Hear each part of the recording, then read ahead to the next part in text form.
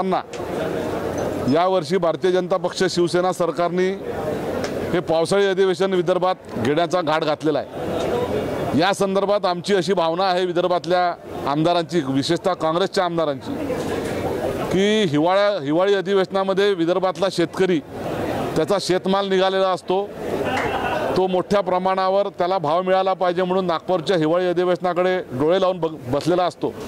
आणि हे सर्व टाळण्यासाठी सरकारच्या विरोधातला विदर्भीय शेतकऱ्यांचा असंतोष टाळण्यासाठी हे हिवाळी अधिवेशनाच्या ऐवजी पावसाळी अधिवेशन विदर्भात घेण्याचा घाट भारतीय जनता पक्ष आणि शिवसेनेनं रचला होता.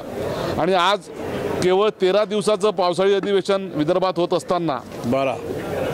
एक दिवस पावसामध्ये वाहून गेला तीन दिवस केवळ नानारवर गोंधळ होऊन अधिवेशन वाया गेलं आणि अशा परिस्थितीमध्ये विदर्भातले जे मूलभूत प्रश्न आहेत शेतकऱ्यांच्या बोंडळीचा प्रश्न आहे तुरीची खरेदी आहे हरभऱ्याची खरेदी आहे आणि इतर सिंचनाचा अनुशेष आहे रस्त्याचा अनुशेष आहे या सगळ्या महत्त्वाच्या मूलभूत प्रश्नांवर हे विदर्भाच्या अनुशेष विदर्भाच्या प्रश्नावर चर्चा व्हावी ही आमची आमदारांची अपेक्षा असताना गोंधळ घालून सत्ताधारी पक्ष विदर्भाच्या प्रमुख प्रश्नावर चर्चा होऊ देत नाही आहे आणि म्हणून ही चर्चा झाली पाहिजे.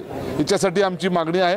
आणि सरकारच स्वतः सत्ताधारी पक्ष गोंधळ घालून ही चर्चा लांबवण्याचा आणि या सरकारचं अपयश झाकण्याचा प्रयत्न या गोंधळाच्या माध्यमातून करते आहे असा आमच्या विदर्भीय आमदारांचा आरोप आहे. विदर्भ में हो रहे इस वर्षाकालीन अधिवेशन के माध्यम से सरकार ने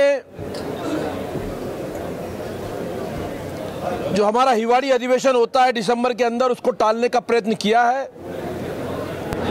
सैकड़ों मोर्चे उस अधिवेशन के दौरान आते हैं और किसान भी अपनी मांग रखता है। अनेक मांग लेकर के सरकार के पास आता है और यहाँ के जनप्रतिनिधि भी उस मुद्दे को लेकर सभागृह को गुंजाने का काम करते हैं। लेकिन उन सब बातों को टालने के लिए सरकार ने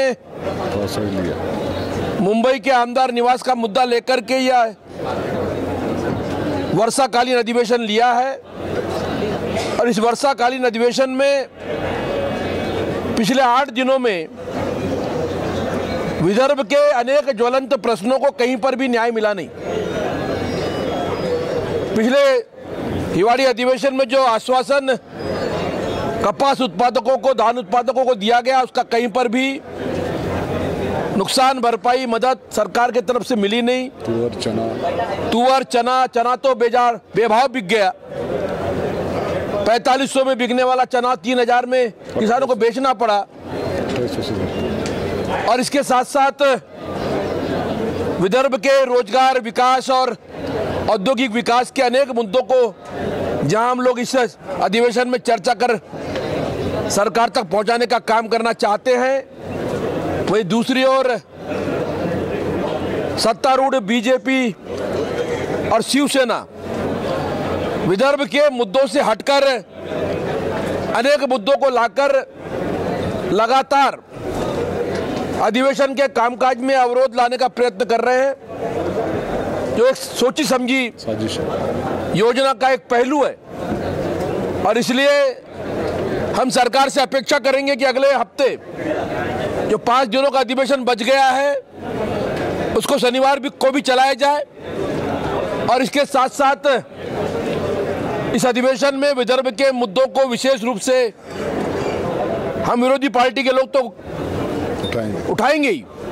लेकिन साथ ही साथ सत्तारूढ़ पक्ष के लोगों ने भी ये आपस की जुगलबंदी नूरा कुश्ती बंद करके विदर्भ के करोड़ों किसानों को और यहाँ के सामान्य जनता को। न्याय दिलाने के लिए पहल लेना चाहिए।